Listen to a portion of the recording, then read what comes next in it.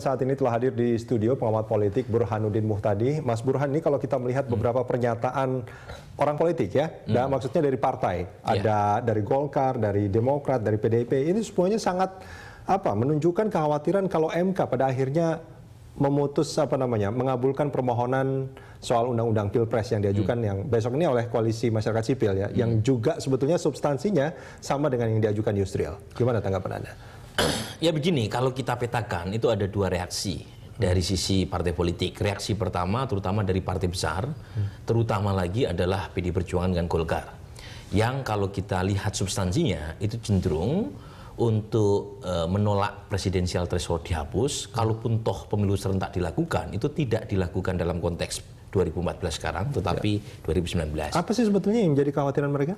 Ya tentu terkait dengan e, masalah kepentingan politik elektoral 2014. Kalau misalnya pemilu serentak itu digolkan dalam konteks sekarang selain persoalan teknis terkait dengan masalah penyiapan penyelenggaraan pemilu, ya, kalau tetapi yang kan, jauh lebih penting hmm. adalah otomatis presidensial threshold itu tidak penting lagi kan? Ya. Kalau misalnya serentak kan otomatis semua partai yang disahkan oleh itu yang lebih mengemuka sebetulnya ini oleh partai politik. Kalau teknis kan sebetulnya ini masalah KPU. KPU ya ya meskipun masalah KPU hmm. itu bisa menjadi chaos itu hmm. kalau misalnya misalnya ya hmm. eh, keserentakan itu dilakukan di bulan April waktu pileg ya. kecuali kalau misalnya keserentakan itu dilakukan di bulan Juli waktu pilpres jadi lagi-lagi ini persoalan kepentingan politik yang berbeda tapi yang hmm. jauh lebih penting adalah saya kira kita harus tahu bahwa inti dari sistem presidensial itu sebenarnya bukan serentak atau tidak serentak yang menjadi inti dari sistem presidensial yaitu proses pemilihan di mana presiden dipilih secara langsung dan punya waktu yang tetap fixed term ya dan e, presiden terpilih itu tidak bertanggung jawab kepada DPR atau DPD. Itulah yeah. inti sistem presidensial. Yeah. Jadi nggak penting apakah sistem pemilu legislatif atau presidensial dilakukan serentak atau tidak. Ya, tadi Anda mengatakan bahwa selain masalah teknis yang menjadi hmm. masalah KPU sebetulnya hmm. nantinya, ini ada masalah uh, presidensial threshold itu ya. yang dikhawatirkan dan lebih mengemuka sebetulnya menjadi kekhawatiran partai. Hmm. Apa yang akan terjadi sebetulnya kalau kalau ini di, dihilangkan? Begini, uh, kalau kita uh, mengasumsikan presidensial threshold dihilangkan, itu kan asumsinya 12 partai itu punya hak untuk mencalonkan presiden. Nah, kalau misalnya itu dilakukan, praktis uh, partai-partai yang memperoleh suara besar dalam pileg entah itu 2014 ya atau ke depan itu asumsinya tidak punya privilege untuk bisa memonopoli proses pencapresan. Karena partai kecil pun, meskipun dia nggak lolos PT, parliamentary threshold, dia bisa mencapreskan.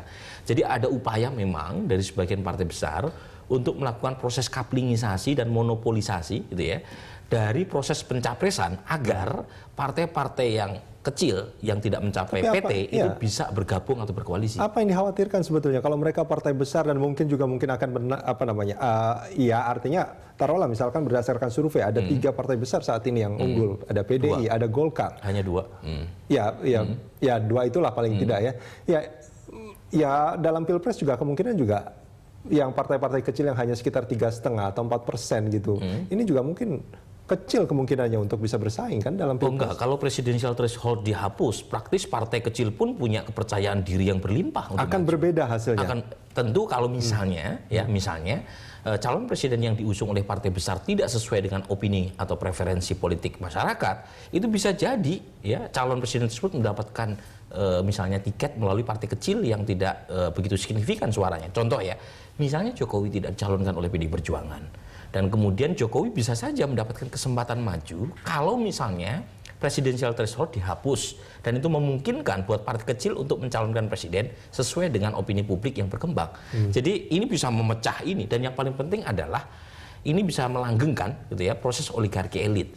Nah, hmm. kalau misalnya presidensial threshold itu ditinggikan seperti yang kita lihat sekarang Undang-Undang Nomor 42 tahun 2008, praktis ya hanya partai besar yang dapat 20 persen kursi di DPR atau 20% suara sah secara nasional dan itu cuma ada dua partai kemungkinan besar berdasarkan survei hari ini. Dan kalau misalnya dua partai besar itu di di apa namanya di dikooptasi oleh elit praktis hanya ketua umum saja yang punya privilege untuk mencapreskan Hmm. Ya, nah kalau kita melihat memang hmm. ya ini saya jadi ingat eh, di 2004 ya pernah ya. kejadian ya pada Betul. saat itu ada tiga persen uh, waktu itu presidensial thresholdnya dan kemudian lima persen suara sah secara nasional. Ya. Itu pun ya itu pun dengan partai tahun 2004 ada sekitar 24 partai yang ikut pemilu. Hmm.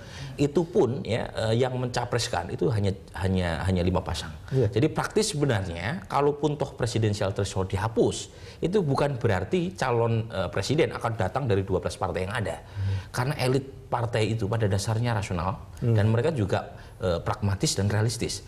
Kalau misalnya peluang untuk menang kecil, yeah. mereka akan ikut efek bandwagon namanya. Efek yeah. bandwagon adalah dia akan bergabung kepada akan calon ikut. presiden yang diusung oleh partai yang kemungkinan besar menang. Setidaknya dia dapat sharing kekuasaan. Dan itu yang akan dicari sebetulnya. Pragmatisnya akan ke sana, lebih ke sana nantinya.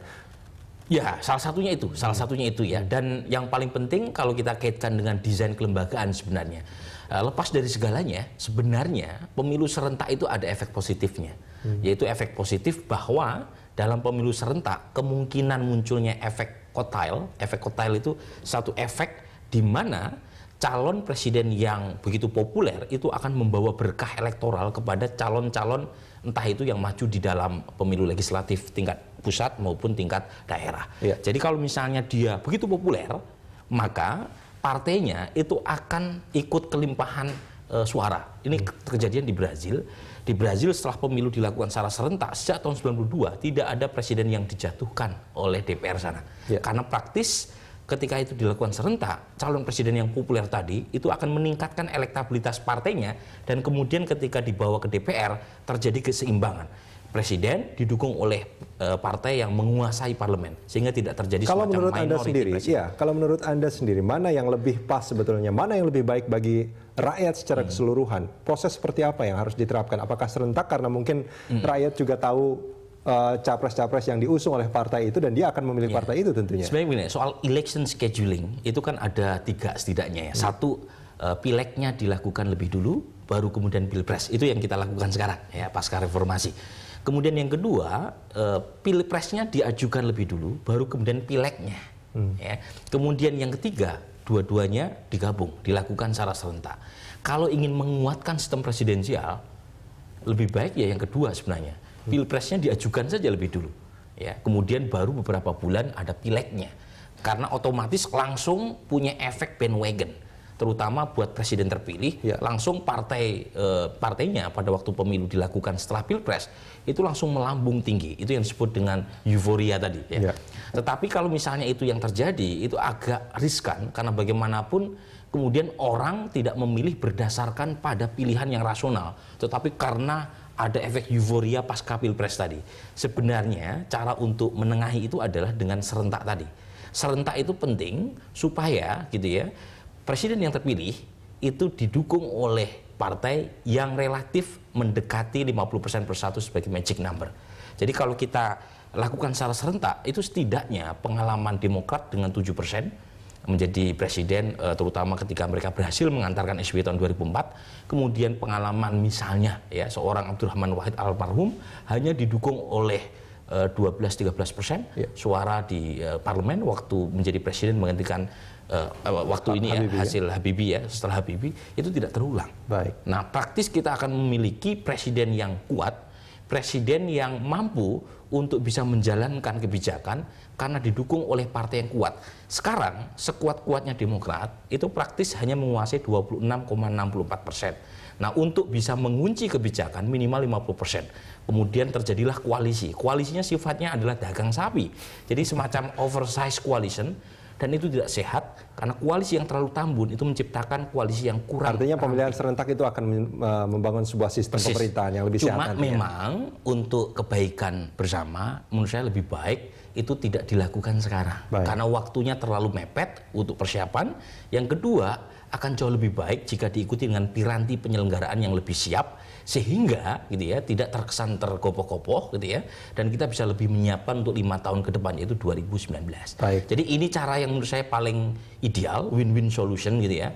Meskipun tentu saya tidak ingin mendahului keputusan MK, tapi yang paling penting adalah keputusan politik ya legal policy apa pun itu seharusnya mampu ditujukan untuk menyehatkan dan melembagakan desain institusi kita pasca Orde Baru terus terang kita nggak punya desain kelembagaan yang begitu kuat.